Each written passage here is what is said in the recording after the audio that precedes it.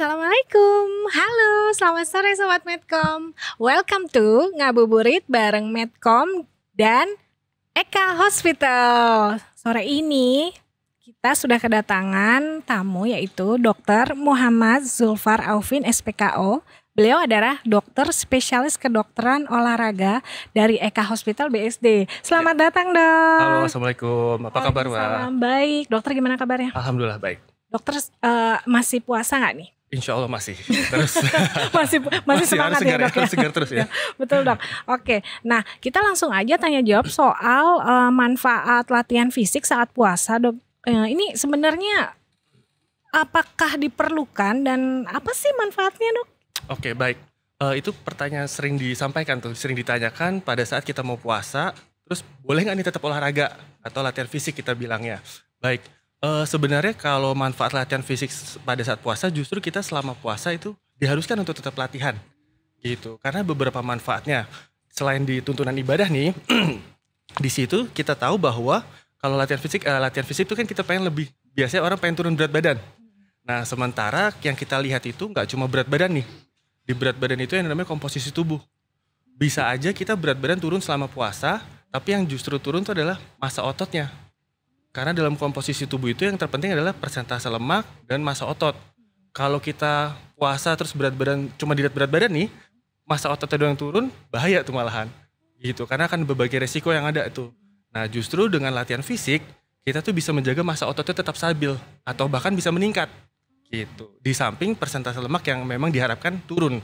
Pada saat puasa itu lebih meningkatkan persentase lemak yang turun. Itu yang pertama. Yang kedua, eh, kita itu terutama orang-orang yang uh, udah sering berlatihan fisik ya sebelum puasa, itu kita mencegah dalam fase deconditioning. Nah, fase deconditioning itu adalah di mana tubuh itu mengalami penurunan fungsional. Jadi misalkan biasanya kita bugar nih, sebelum puasa kita bugar terus pada saat puasa kita memilih untuk rest. Kita nggak latihan sama sekali. Nah itu dua tiga minggu setelahnya kita tuh mengalami fase penurunan fungsional. Pada saat kita memulai olahraga lagi, kita menjadi lemes.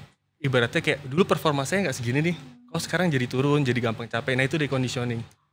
Nah jadi pada saat kita puasa, kita latihan fisik tuh kita mencegah tuh terjadi di fase deconditioning. Nah, waktu terbaik untuk latihan fisik tersebut saat kita puasa tuh kapan sih dok baiknya? Nah, waktu terbaik ya. Nah, jadi kan sebenarnya kalau kita sering dengar, kalau kita olahraga tuh harus makan. Cukup makan dulu baru mulai olahraga. Nah, kalau kita karena keadaan puasa di bulan Ramadan, kita bisa tuh mencari timing-timingnya. Ada tiga nih mbak waktunya yang uh, biasa paling sering dilakukan lah. Biasanya setelah sahur, sebelum berbuka puasa dan dua jam setelah berbuka. Nah ketiga ini bisa ada ada pros and consnya nih. Ada kelebihan dan kekurangannya. Pertama yang sudah sahur. Sesudah sahur kita tahu kita masih punya banyak tenaga tuh. Gula darah masih banyak, kita masih punya energi yang cukup. Kekurangannya kalau kita melakukan latihan fisik di saat itu, kita tahu nih waktu kita masih panjang. Misalkan let's jam 8 kita latihan atau jam 6 sebelum kerja kita masih punya waktu panjang sampai berbuka jam 6, jam setengah 7. Jadi kalau kita melakukan latihan fisik yang effortnya intensitasnya cukup berat, itu kita ya ada risiko untuk kelelahan, pusing, kelaparan kayak gitu. Nah, di samping itu jenis latihan yang ideal pada saat setelah sahur itu latihan angkat beban. Atau kita sebut resistance training, kalau orang-orang bilang di gym lah menggunakan beban gitu. Karena dengan latihan resistance training itu memecah e, cadangan glukosa di tubuh kita jadi kalau misalkan waktu berbuka masih lama, itu kita masih punya energi lah yang cukup. Pantes dok, saya habis sahur main badminton jadi batal. Nah, itu kayaknya memang diniatkan. gitu. Agak terlalu berat ya, berlebihan kayaknya saya. Kemudian dok, berapa lama tuh dok? Kalau latihan tuh sama dengan sebelum kita berpuasa tetap 30 menit sampai 45 menit. Cuma memang intensitasnya yang kita turunkan tuh. Biasa kita mungkin bisa intensitas berat, kita ringan sedang. Itu yang pertama tuh Mbak. setelah sahur tadi. Ya. Setelahnya adalah sebelum berbuka. Nah di sini kelebihannya kalau kita latihan fisik kita bisa langsung berbuka nih. Kan ada jarak 1-2 jam. Habis capek-capek latihan kita langsung bisa buka puasa. Kekurangannya itu kita tenaganya sudah habis. Betul kan? Latihan jam 4, jam 5 tuh udah kayak itu pengen tidur aja gitu. Ngebayang itu udah es doger segala macam. Nah kita latihan dari situ udah gampang capek tuh kita. Jadi intensitasnya mesti diturunin intensitasnya ringan sedang dan latihan yang terbaik dari berbagai penelitian itu endurance training. Misalkan bersepeda, lari, kayak gitu. Tapi intensitasnya diturunin. Karena latihan-latihan semacam endurance itu menurunkan kadar gula. Jadi memang harus langsung di replenish atau diganti. Jadi memang cocok kan satu jam sebelum berbuka kita latihan, habis berbuka kita langsung ganti dengan gula. Kita langsung minum, makan seperti itu. Nah yang terakhir adalah setelah berbuka. Dua jam setelah berbuka puasa itu adalah menurut berbagai penelitian banyak yang bilang ini adalah waktu terbaik. Waktu terbaik untuk kita latihan fisik, untuk olahraga. Karena di situ kita sudah mengganti semua cairan dan nutrisi kita. Dan kita di waktu-waktu tersebut kita bisa meningkatkan intensitas. Gitu. Mungkin bisa main badminton yang lebih ya intensitas lebih tinggi gitu atau berlari kayak gitu. Nah, cuma ada satu faktor yang perlu diperhatikan. Apa tuh, Dok? Udah malam. Oh, iya. Biasanya kan udah jam 8, jam 9 Oh, iya, setelah bener. sholat tarawih. Waktu tidurnya tuh bahaya. Bukan bahaya, dalam artian kurang tidurnya nanti jadi susah. Nah, kita harus mengatur waktu tidurnya. Seperti itu. Kan biasa kalau misalkan kita let's latihan jam 8, jam 9. Selesai mungkin jam setengah 10. Kita masih ada waktu untuk metabolisme kita itu masih tinggi. Tidurnya makin lama dan ada beberapa orang yang memang teman-teman kita sahurnya jam 2, jam 3. Jadi waktu tidurnya akan berkurang tuh. Itu akan berpengaruh ke performa dia, ke kesehatan dia.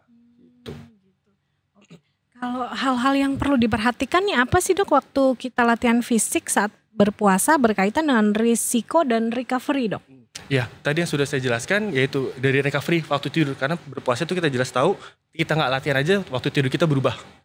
Terus dehidrasi dan kekurangan nutrisi itu yang di yang dikhawatirkan. Apalagi ditambah latihan fisik sehingga orang-orang yang melanjutkan latihan fisik saat puasa itu harus memperhatikan tiga hal itu tuh. Dehidrasinya cukup atau enggak sebelum pada saat sahur dia harus terus maintain kadar cairannya setelah berbuka juga gitu. Nutrisi juga selain dari jangan melulu cuma ah pengen gula doang nih karbohidrat yang diutamain. Enggak. Kadang orang lupa kebanyakan karbohidrat, proteinnya lupa nih. Oh iya Ya betul. Justru protein itu yang membantu menjaga massa otot kita. Gitu. Nah tinggal dipilih aja tuh. Kan biasanya kita makan tiga kali sehari. Ini jadi dua kali. Tinggal dibagi aja porsi makannya.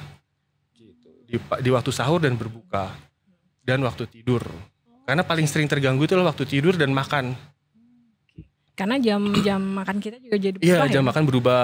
Harus yang pagi-pagi banget. Jam 4, jam 3. Tapi biasanya tubuh kita tuh kan punya kemampuan adaptasi nih.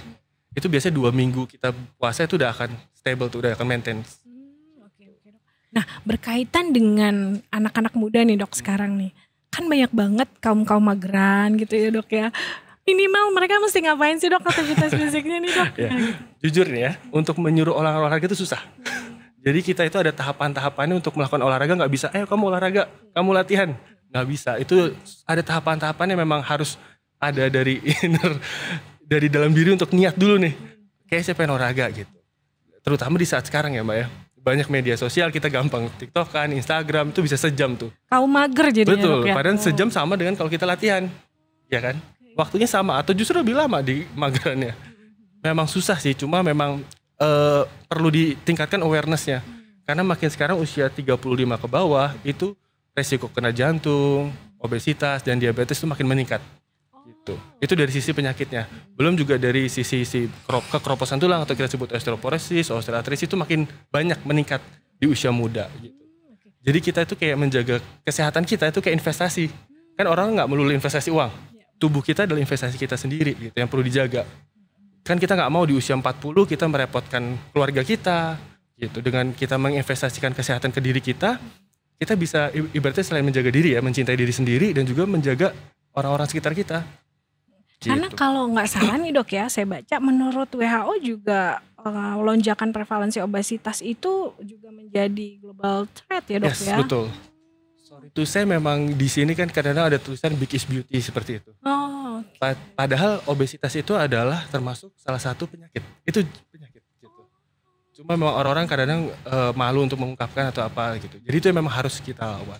Minimal adalah dengan bergerak. bergerak ya dok. Yes. Minimal eh, tiga kali seminggu atau berapa Ya, kali kalau seminggu? bicara dari jenis dan intensitasnya, kalau kardiorespirasi itu kita menurut WHO itu minimal 150 kali 150 menit dalam seminggu. Oke, bisa gitu. dibagi lah itu ya bisa dok dibagi. ya. Jadi seminggu sehari itu bisa dapat 30 menit tuh.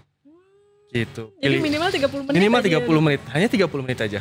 Bisa dari berlari, jogging dengan intensitasnya yang perlu kita tahu gitu, kita ukur gitu. Santai-santai aja jalan gitu dok ya Eh, mungkin mulai-mulai awal. kalau gitu ya, kita Dok, masih ya. ibaratnya kalau kita bisa berjalan atau jogging dengan bernyanyi itu masih terlalu ringan. Oh gitu. Iya. Oke. Seenggaknya nggak terlalu ngos-ngosan banget sampai nggak bisa ngomong, tapi kita masih berbicara lah. Tapi kalau masih bisa bernyanyi itu terlalu ringan. Oh, Oke oke. gitu. Jadi kuncinya adalah kaum kaum mageran harus minimal aktivitas fisik, ya dok Yes, ya, betul. supaya tetap sehat, Ya, dok. Dan yang Oke. sering sorry mbak, yang sering dilupakan itu adalah latihan beban ya. Oh latihan beban Iya, karena orang cuma mengincar kardiorespirasi aja nih. Sementara WHO juga menyarankan nih minimal 2 sampai 3 kali seminggu untuk latihan beban. Gitu. Jadi jangan takut untuk melihat gym atau alat-alat berat itu barbel, plate-plate besi itu karena orang udah jiper duluan nih. Udah takut ah, ntar jadi berotot gitu. No, nggak Oh, seperti kayak itu ya, gitu. Dan ya. itu diperlukan ya dok. Itu ya? diperlukan, even sampai usia tua. Gitu. Karena semakin kita tua, kita semakin resiko nih. Yang menjaga otot kita kan cuma tulang dan otot untuk kita bergerak gitu. Kalau tulang kita udah semakin kropos, kita nggak latihan beban, otot kita lemah, kita semakin tua semakin eh, kapasitas quality of life kita akan menurun. Gitu. Jadi itu harus kita jaga. Saya bilang tadi di awal, investasi, investasi. Investasi. Ayo jangan lupa investasi Betul. kesehatan juga sobat Medcom. Sip. Hmm, gitu. Nah, terima kasih banyak eh, dokter dokter Zulfar Ya. atas eh, talk show kita yang sangat menarik sore ini dan biasa nih saya mau menutupnya dengan gimmick tebak-tebakan kepada dokter. nah, makanan apa dok yang paling capek? Makanan apa yang paling capek? Nggak tahu. Nggak Ayo tahu, dong, Dok. nggak tahu. Pegel lele. Baik, terima kasih Sobat Medcom, terima kasih Terima Dokter kasih. Selamat buka puasa.